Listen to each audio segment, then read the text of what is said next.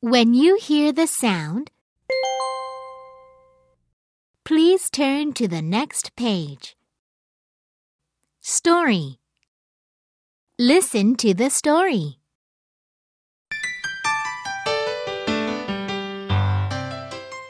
The Moth by Mae Nelson. A moth starts out life as an egg. How does the egg change into a moth?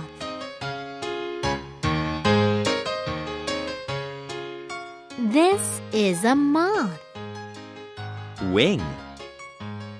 Feeler. Eye. Leg.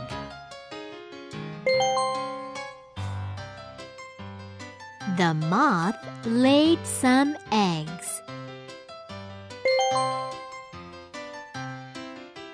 A caterpillar came out of an egg.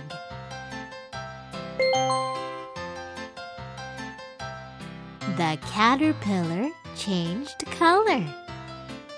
It ate and ate.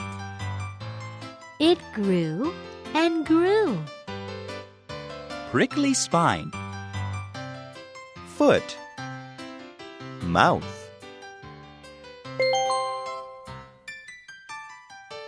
One day, the caterpillar stopped eating.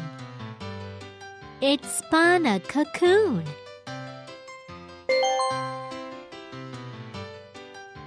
It changed inside the cocoon. It changed into a moth.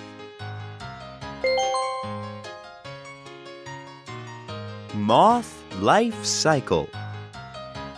1. Eggs. 2. Caterpillar. 3. Cocoon. 4. Moth.